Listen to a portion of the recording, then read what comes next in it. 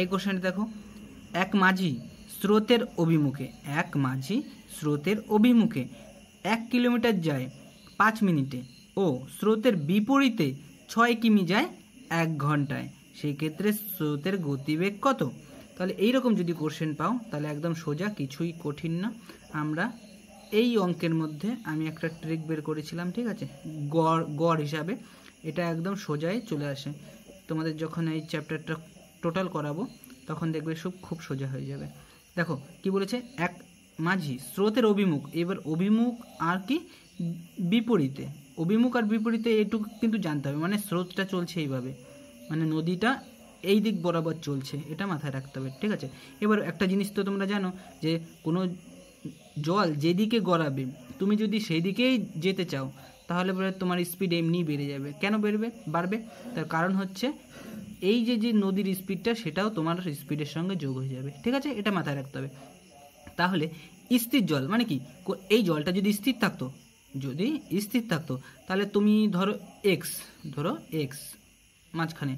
তাহলে স্থির স্থির জলের গতি যদি, স্থির জলে একটা নৌকা বা মানুষ সাঁতার কেটে যাচ্ছে বা নৌকাতে যাচ্ছে, স্থির জলে তার গতি যদি এক্স থাকে, ঠিক আছে? স্থির জলে তার গতি যদি এক্স থাকে এবং স্রোতের গতি মানে স্রোত যেদিকে বইছে সেই, তার গতি যদি ওয়াই হয়, কি হয়? ওয়াই হয়। তাহলে পরে মনে রাখবে, এই যে স্রোতের দিকে যখন যাবে, স্রোতের দিকে যখন যাবে, তখন এই এক্সের সঙ্গে স্থির জলে এটা ছিল, তার সঙ্গে এই ওয়াই মানে স্রোতের গতিটা যোগ হয়ে যাবে। ওকে আর যখন বিপরীত দিকে, যখন বিপরীত দিকে যাওয়ার চেষ্টা করবে স্রোতের, তখন এই ওয়াইটাই মাইনাস হয়ে যাবে। এটুক মাথায় রাখতে হবে হ্যাঁ? ঠিক এখান থেকে এটাই করব আমরা। দেখো কি বলেছে, এক মাঝি স্রোতের অভিমুখে মানে স্রোতের দিকে যাচ্ছিল, এক মিটার, এক এক কিলোমিটার যায় পাঁচ মিনিটে। ওয়ান কিলোমিটার ওয়ান কিলোমিটার যায় কত? Five minute. এবার বলো, আমাদের পাঁচ মিনিট দিয়ে কী হবে? আমাদের ঘণ্টা চাই। ঘণ্টা না হলে পরে আমাদের গতিবেগ কী করে বেরোবে? তাহলে বলো, পাঁচের সঙ্গে কত গুণ করলে ঘণ্টা বেরোবে? তাহলে পাঁচের সঙ্গে বারো গুণ করলে, বারো গুণ করলে পাঁচ বারং ষাট। এবার ষাট মিনিট মানেই তো এক আওয়ার ষাট মিনিট মানেই তো এক ঘণ্টা। এবার বলো, এক ঘণ্টা যেহেতু এর সঙ্গে বারো গুণ করেছি, তাহলে এই যে যে আমরা এক কিলোমিটার ধরেছিলাম, এক কিলোমিটার না, তার সঙ্গে বারো গুণ করতে হবে। তার মানে কত বেরোলো? বারো কিলোমিটার। তার মানে একটা জিনিস বেরোলো যে, এই যে যে স্রোতের দিকে যাচ্ছিলাম, সেটা বারো কিলোমিটার পার আওয়ার বেগে যাচ্ছিল। ঠিক আছে? তার মানে এই যে যে স্রোতের দিকে, কি? স্রোতের দিকে বেড়ে বেড়ে বেড়ে বেড়ে আমরা বারোতে পৌঁছেছি। কততে পৌঁছেছি?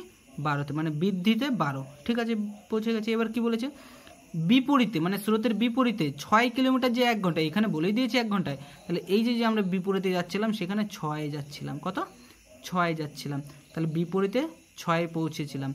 আর স্রোতের দিকে বারো, তার মানে গতিবেগ আমার কত ছিল? বারো কিলোমিটার। স্রোতের দিকে আর বিপরীতে ছয় কিলোমিটার। এবার বলো, আমরা সবাই সবসময় মনে রাখব, সময় যদি এক, একই হয় দুটোর ক্ষেত্রে, তাহলে এদের দুজনের যে গতিবেগ বেরোবে তার ঠিক মিডিল পয়েন্টে তার ঠিক মিডিল পয়েন্টে থাকবে কে? স্থির জলের গতিবেগ। এটা মাথায় রাখতে হবে। ঠিক আছে? এবার বলে এদের দুজনের ডিফারেন্স কত? আমি যদি কোনো সূত্র টুত্র কিচ্ছু না ভাবি, এদের দুজনের ডিফারেন্স কত? মানে কি, ছয়ের থেকে বারো যেতে গেলে ক ঘর যেতে হয়? নিশ্চয়ই বারো বারোর থেকে ছয় বার দিলে ছয় হবে। এবার এই যে এই যে যে ছয় বেরোলো, এই ছয়টাকে দুভাগে ভাগ করে দিতে হবে তো আলাদা আলাদাভাবে। হ্যাঁ ছয়কে ভাগ করলে তিন তিন করে পাবো। তাহলে এখান থেকে এইটুকু তিন আর এখান থেকে এইটুকু তিন।